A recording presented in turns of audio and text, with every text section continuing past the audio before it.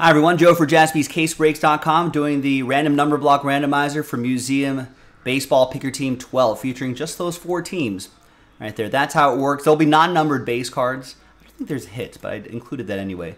But they'll be randomized as one lot to one person in the group here. So yeah, that means uh, Wander Franco, Bobby Witt Jr. rookie cards, which are not numbered, will be randomized to one person in the break. Big thanks to this group for making it happen. We'll do that randomizer at the end of the break video. And there are the numbers right there. Let's roll it and randomize names and numbers, two and a four, six times each. One, two, three, four, five, and six. We got Ivan down to Ed after six. Two and a four, six times for the numbers. One, two, three, four, five, and six.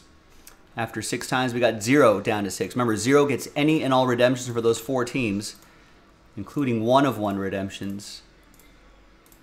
But one, you'll still get live one of ones.